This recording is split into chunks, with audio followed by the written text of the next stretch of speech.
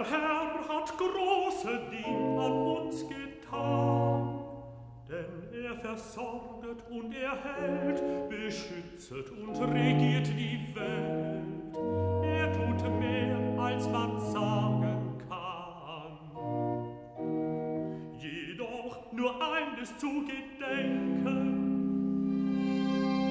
was könnt uns Gott wohl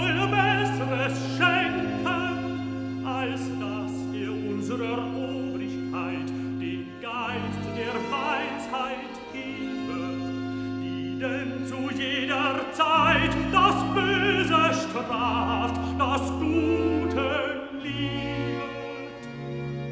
Ja, die bei Tag und Nacht vor unsere Wohlfahrt war.